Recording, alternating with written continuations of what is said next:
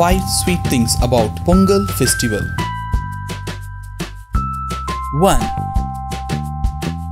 It is a Thanksgiving 4 day ceremony celebrated by Indian Tamil community worldwide. It is celebrated during the harvest season which falls in mid of January every year. 2. The first day of Pongal festival is known as Bhogi, which falls on the last day of the Tamil month Margari. It is a day to clean and remove the unwanted things from the house and the mind. This day is called as Pogi, Pokudal in Tamil, and in due course of time, it changed to Bhogi.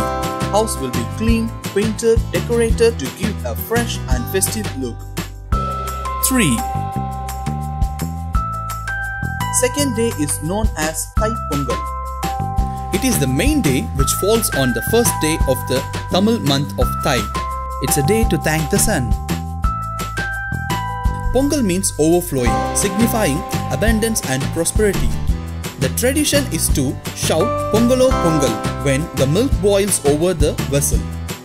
4.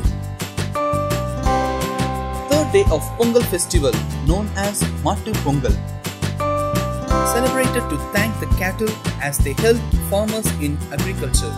The cattle are allowed to roam free and fed sweet rice and sugarcane. The cattle's horns are decorated with colorful paints and flowers. 5.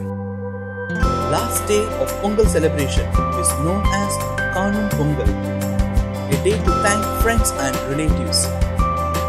The word Kanum means to visit. Families hold reunions on this day with their friends and relatives.